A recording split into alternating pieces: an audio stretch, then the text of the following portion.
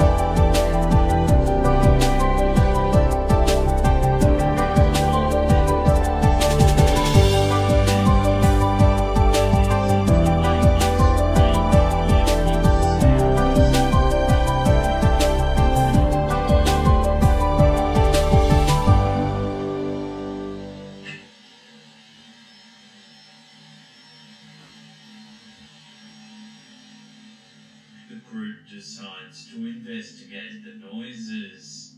They peek inside the room where the noises seem to be coming.